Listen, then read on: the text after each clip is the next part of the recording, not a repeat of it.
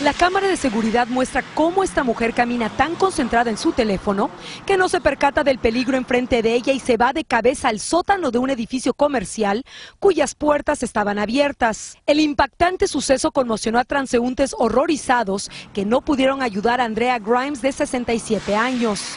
Sacó su teléfono último minuto, pues yo, vi, yo pensé que ella vio las puertas abiertas y se iba a mover, pero no pues como cuando sacó su teléfono se tropelló con la, puerta y se, se, metió adentro. Y es que el video es evidencia de los peligros que pueden ocurrir por distraerse tan solo unos segundos con el teléfono celular.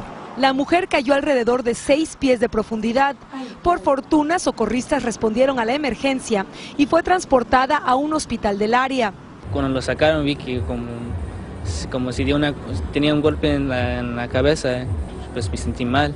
Según las autoridades, las puertas que están ubicadas a nivel del suelo estaban abiertas porque trabajadores de la empresa de electricidad y gas se encontraban haciendo reparaciones en el sótano donde se encuentran los medidores del edificio. La mujer sufrió heridas graves y continúa hospitalizada.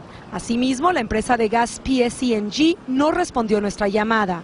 Actualmente en Nueva Jersey y otros estados de la nación está prohibido conducir y usar el celular, pero lo que nadie se imagina es que usarlo mientras se camina podría resultar igual de arriesgado. En Nueva Jersey, Nayeli Chávez Geller, primer impacto.